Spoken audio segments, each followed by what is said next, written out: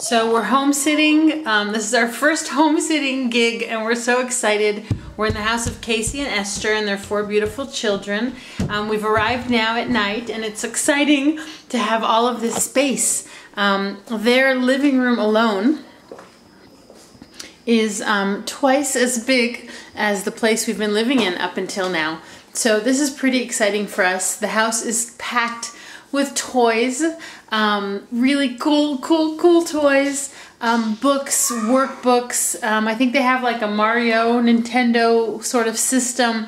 All the stuff that is just so not what we have um, out of backpacks as travelers, and this is just really cool. Um, we just got here about um, 15 minutes ago and I'm just excited. Uh, the kids are excited. We're supposed to be going to sleep now and the kids are bubbling all over the place, um, showing me all the toys and you can maybe hear them upstairs going, woo! They keep discovering new drawers and boxes full of toys. Um, we've already lost the dog. We were bringing our things in and this is like our one responsibility um, we're bringing the things in and she bolted out of the gate. Um, I hear the car, so let's see. I hope Kobe found um, Cleo because that's our responsibility. We're not going to be good home sitters if we can't find the dog.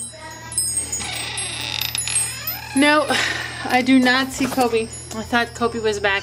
So we just have to find Cleo because we're supposed to take care of her while they're gone.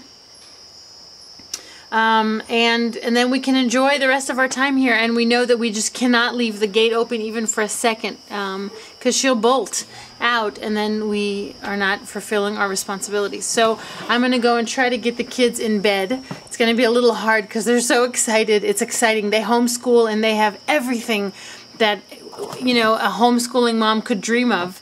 Um, I'm really excited to be here. This is going to be a really fun three weeks for our family. Um, and I think it sort of opened for me just right now the realization that we could do this in other communities. We could sign up for, for home sitting um, groups and find around the world home sitting opportunities which would let us sort of have a place to land in for free um, that's ready for us. That could be really fun. Um, so we'll let you know how it goes, but we're really excited. All right, bye. Wish us luck on finding